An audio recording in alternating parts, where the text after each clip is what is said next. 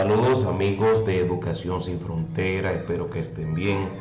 Este video eh, va dirigido para las personas que están en el banco de elegible o, tienen amigos en el banco de elegible y hemos descubierto, bueno, no me voy a dar el crédito sino al final del video, voy a mencionar a la persona que hizo posible este análisis, ya que por su experiencia trabajando en bufete de abogados, en el mundo de la jurisprudencia, eh, pudo darnos luz en este análisis que vamos a compartir. Así como ustedes lo, pueden leer, el video se titula El banco de elegible no tiene caducidad. Eh, para hacer este análisis estamos utilizando los dos documentos que están facultados para eh, regir a las personas que participaron en el concurso 2021, que son el Estatuto Docente y la Orden Departamental 06-2021, firmada por el entonces ministro Roberto Fulcar.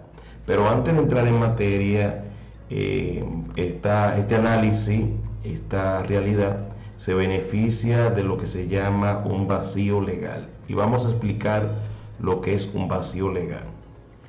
Eh, cuando existe una norma aplicable al caso concreto que genera duda, de ser necesario se busca la creación de consecuencias jurídicas que adapte al caso.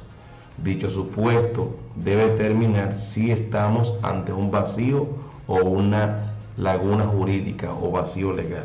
Es cuando la ley no es clara y deja entrever entonces esto le da el beneficio de la duda a quienes se le están aplicando. Entonces, vámonos primero a el artículo 21 de la Orden Departamental 06-2021, que dice el artículo 21, los expedientes de los postulantes que resulten ganadores pasarán a la Dirección de Gestión Humana para la asignación de plazas, los cuales son seleccionados según el orden y la calificación de mayor a menor para cubrir la cantidad de plazas vacantes. Yo creo que eso se ha cumplido al pie de la letra porque salvo algunas denuncias que después se comprueba que son empates, eh, se ha ido respetando el orden de designación. Pero aquí está lo interesante. Dice el párrafo 6, los postulantes que habiendo aprobado el concurso de oposición y no sean designados por escasez de plazas vacantes pasarán a integrar el registro de elegible que se mantendrá vigente conforme a lo que establece el estatuto docente y sus artículos 22 y 23.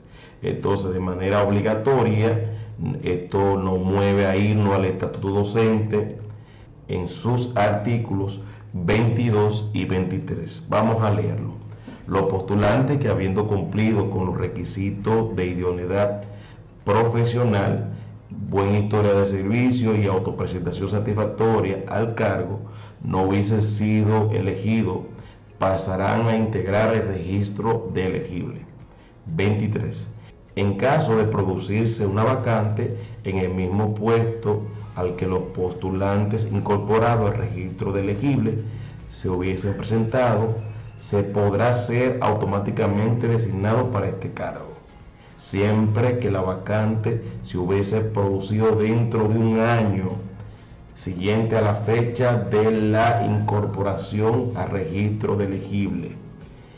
Bien, vamos a detenernos acá. Dice, en caso de producirse, podrá automáticamente ser designado para el cargo que se hubiesen producido durante un año, pero no habla que el banco de elegible se vence.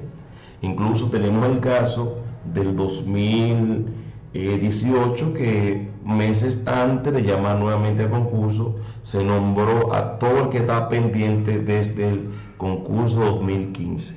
O sea, si se fijan bien, ahí no habla que el registro de elegible se vence hace referencia a que tiene que ser designado durante un año, pero no habla de caducidad, no habla de que termine, simplemente se habla de que se quedarán en el banco de elegible.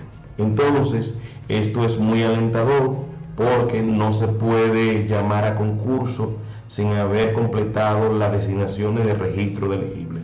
Y como hemos dicho en otros videos, la auditoría que se va a realizar en los primeros meses de este año 2023 va a dejar cerca de 25 mil a 26 mil vacantes eh, en el Magisterio Nacional que serán completadas, serán cubiertas primero por el banco de elegibles y luego que se llame a concurso.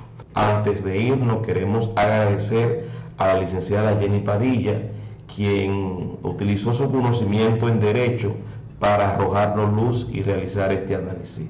Mil gracias compañera, un abrazo grande y nos vemos en un próximo video.